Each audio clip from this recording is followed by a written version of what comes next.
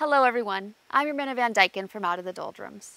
Today, let's take some time to discuss the plant moringa. Have you ever heard of it before? If you're used to typical Western food, chances are you likely have not heard of this plant. Why should you care? Well, moringa is a nutritional powerhouse. Research is becoming more and more plentiful on this plant, and so far, it's all been great. The moringa plant, officially known as Moringa oleifera lam, is also known as the drumstick or horseradish tree. It's native to the dry tropical forests of northwest India and the foothills of the Himalayas. Moringa is derived from a Tamil word, murungai, which means twisted pod. Traditionally, the moringa plant has been considered medicinal in Ayurvedic medicine. History tells us that ancient rulers included moringa leaves in their diet routine to keep up mental health and smooth skin. Today, moringa is found to grow in tropical and subtropical regions worldwide. It thrives in China, South Asia, India, Arabia, Africa, the Pacific Islands, the Caribbean, and the Philippines. Here in Hawaii, it's everywhere. It grows like a weed. All parts of the moringa tree are edible and they've been long consumed by humans. The flowers, unripened fruits, and leaves are used for cooking worldwide. Almost all parts of the moringa plant are considered valuable and not just for food. Here are some of the ways you can use the moringa tree. Food ingredients, of course, nutraceuticals, medicine, water sanitation, animal forage, cleaning agents, fertilizer, charcoal, machine lubrication oil, gum, pulp, rope, tannin, and biofuel production. Some experts consider moringa the famine food. It's been used to combat malnutrition. The tree is super fast growing. It can grow up to two whole meters in the first year, and it's up to 12 meters tall once mature. The tree will grow well in subfertile soil, and the leaves become mature at the end of the dry season, which is when many other sources of food are not available. In addition, the leaves can be eaten fresh, cooked, or stored as a dried powder for many months without refrigeration. Talk about a useful and convenient food source. Different parts of the moringa tree are used in more than 80 countries to supplement mineral and vitamin deficiencies, especially in breastfeeding mothers and young children. People are even calling moringa the new kale.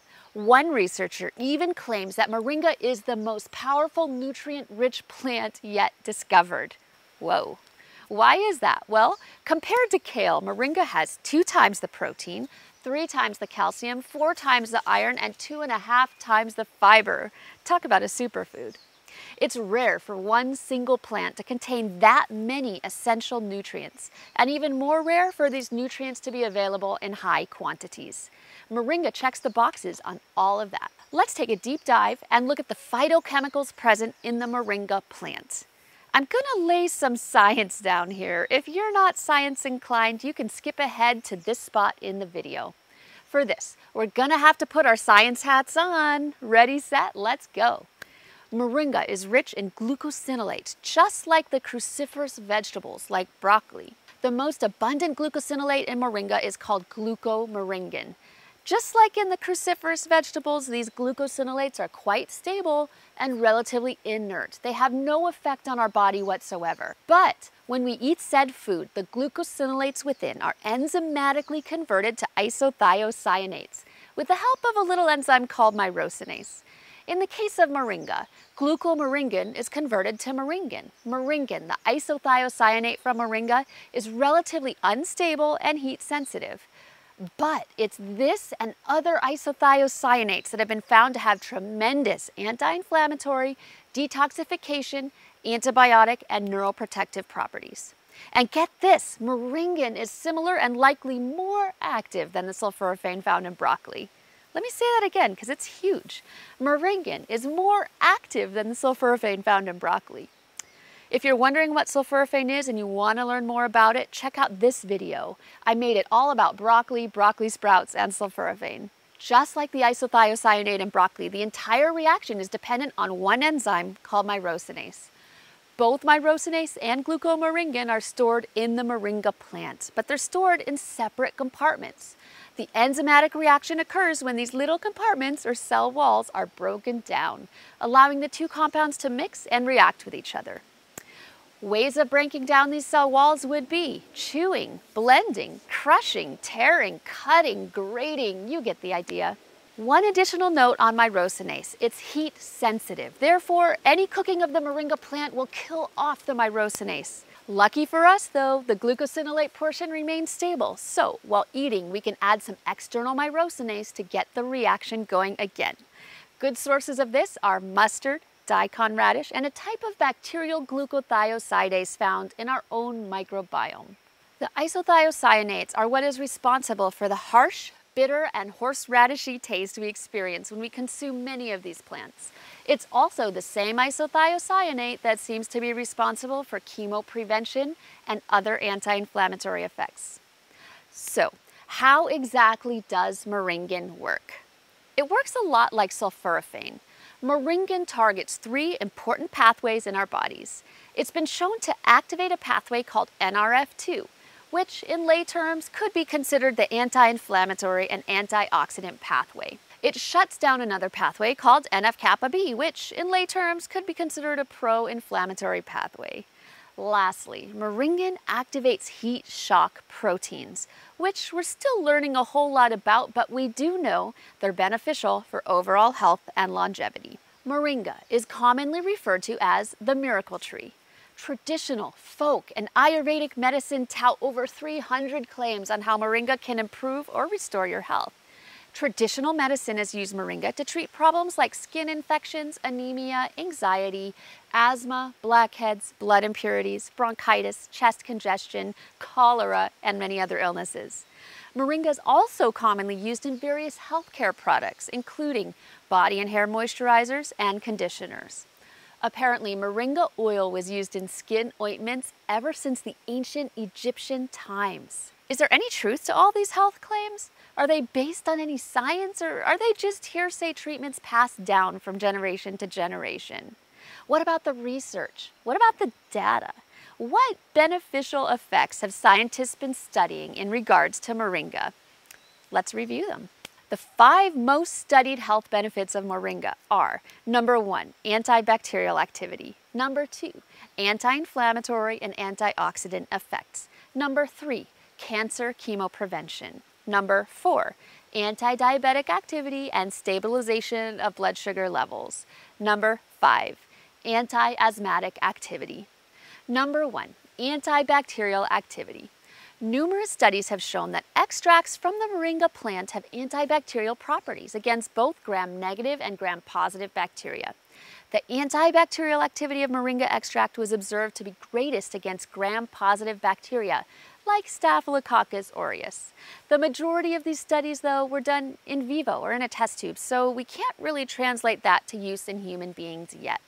What's more interesting to me in regards to antibacterial activity is that moringa has been found to be effective against a bacteria called Helicobacter pylori, or H. pylori.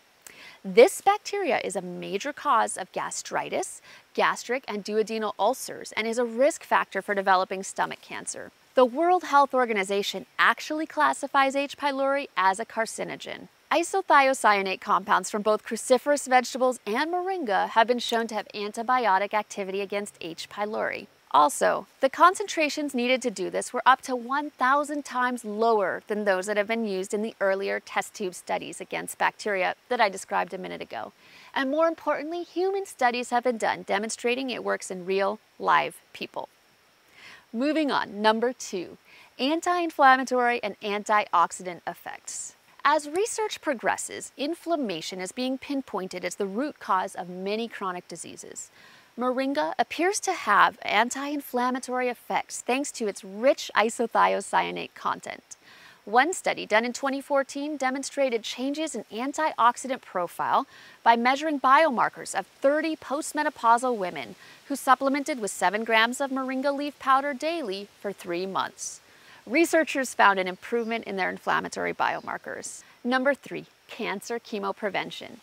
Scientists have recently found that moringa is a potent inhibitor of Epstein-Barr activated Burkitt's lymphoma cells. Of course, again, it's in a test tube and we don't know the effects on real human people though. Another study looked at mice and found there was a reduction in skin papillomas or skin tumors in mice that were receiving moringa extract. There's no doubt when it comes to chemoprevention and isothiocyanates, we need many more studies, much more research, and we need human trials in this area. Hopefully those are coming soon. Number four, anti-diabetic activity. Traditional and folk medicine is full of claims that moringa lowers blood sugar levels and is good for diabetes.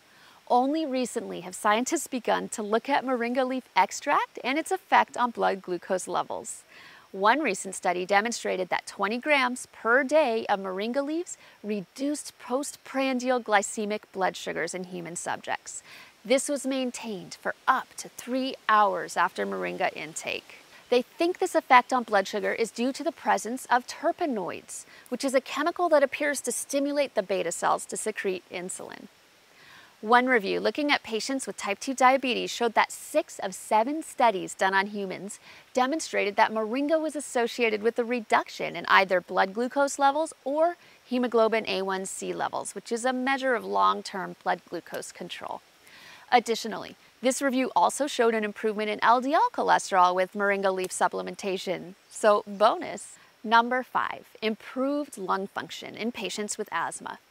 Patients with mild to moderate asthma were given three grams a day of finely powdered moringa seeds for three weeks.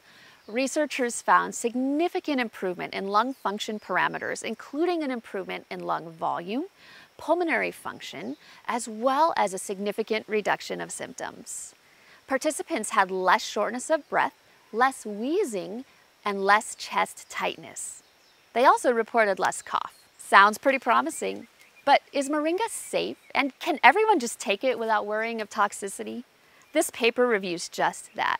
In this paper, the statement is made that, quote, no adverse effects were reported in any of the human studies that have been conducted to date, end quote. The authors then go on to state that various preparations have been and continue to be used around the world as foods and as medicinals without the report of ill effects. So it's been safely used for a long time. That being said, there's a few concerns. Consuming large amounts of moringa may lower blood pressure and slow heart rate. This is because of the alkaloids in the plant, and it's actually a good thing if you have high blood pressure. You just don't want to overdo it by consuming too much at once. Next, there are some concerns that moringa can interfere with fertility. Researchers have reported uterine contractions from consuming moringa bark. With this in mind, to be on the safe side, women who are pregnant or trying to become pregnant should not consume moringa until we know a little more. Well, I hope you learned something about moringa in this video. Stay tuned for an upcoming video where we make a powerful aqueous extract of moringa, also known as moringa tea. I sincerely hope you learned something valuable and applicable to your individual health journey. If you like this video, please give it a thumbs up. If you want to show us some real support, subscribe. We love hearing from you, so please comment below with your thoughts on the video and any questions you may have regarding the information provided. Until next time, aloha.